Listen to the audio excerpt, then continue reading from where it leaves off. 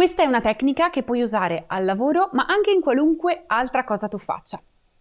Funziona in questo modo. Si basa in partenza su quella che viene definita la legge di Parkinson, secondo la quale il lavoro si espande fino a occupare tutto il tempo che ci siamo date per portarlo a termine.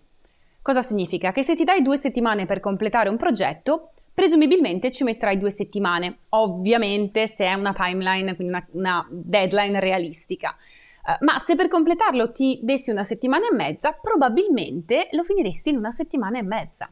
Quando però cominci ad applicare questo principio, che cosa succede? Che tendi inevitabilmente a sopravvalutare quello che puoi fare in un arco temporale relativamente piccolo e quindi poi ti stressi la vita perché non riesci effettivamente a completare la task, o meglio, magari riesci a completarla nel tempo che ti sei data, quella famosa settimana e mezza, ma ehm, a costo naturalmente della tua serenità. Quindi facciamo un passo indietro e vediamo come funziona questa eh, tecnica nella pratica, eh, cercando di non scivolare nella buccia di banana che ti ho appena descritto. Scegli una task che sai di dover portare a termine. Ok, questo è il primo passo. Datti un arco di tempo un po' più breve rispetto a quello che ti daresti normalmente per completarla. E qui eh, c'è una trappola in cui non devi cadere. Ricordi che qualche secondo fa eh, ti ho detto che eh, perché funzioni in questa legge di Parkinson, la timeline che ci diamo, quindi l'arco temporale che ci diamo per completare la task deve essere realistico. Ecco, come accennavamo prima, noi donne siamo sempre molto brave a sopravvalutare quello che possiamo fare in, non lo so, una settimana ad esempio molto brave anche a sottovalutare quello che possiamo fare in un arco temporale più ampio, ad esempio un mese o addirittura un anno. Poi perché questo succede? Boh, batte la pesca. Ma per evitare questo paradosso, quindi il fatto di ridurre quella che è la nostra eh, timeline, perché la legge di Parkinson dice che se ci diamo un pochino meno tempo per completare una cosa, allora ce ne metteremo meno. Ma per evitare appunto che poi per mettercene meno ci stressiamo la vita, segui attentamente questi passaggi. Quindi torniamo al passaggio numero 1. Scegli una task che sai di dover portare a termine. Passaggio numero 2. Accorcia il tempo che ti dai per completarla e fin qui l'abbiamo già detto e non fa una piega.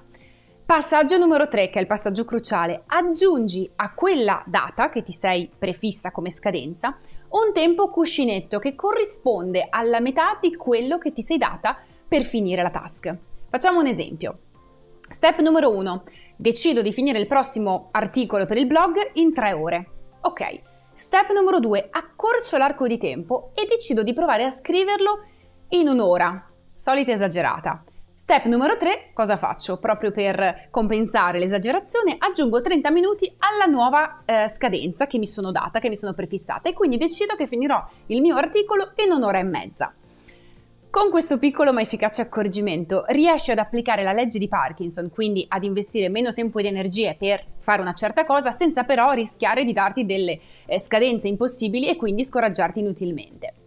Quindi ti lascio per questa puntata di Impact Girl con una domanda a cui rispondere fra te te con calma dopo che avrai chiuso questo video o questo, uh, o questo audio. Qual è una cosa che sai potresti finire in meno tempo rispetto al tempo che ti sei data o che ti, o che ti dai di solito, quale nuova scadenza potresti darti una volta applicata la tecnica di Parkinson insieme al trucchetto che ti ho appena descritto. È il momento di rimboccarci le maniche e metterci al lavoro.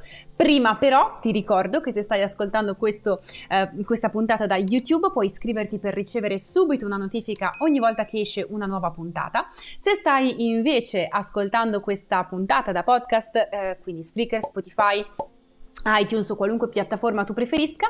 Aspetto con entusiasmo una tua recensione e un tuo feedback su quanto ti sta aiutando il podcast di Impact Girl. Noi come sempre ci vediamo alla prossima puntata. Un abbraccio super.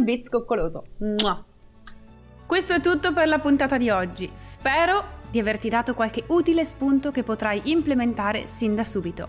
Se crescere un business in cui credi sul web in modo autentico e proficuo è parte dei tuoi piani e non sei ancora entrata a Biz Academy, puoi farlo visitando il sito biz-academy.it.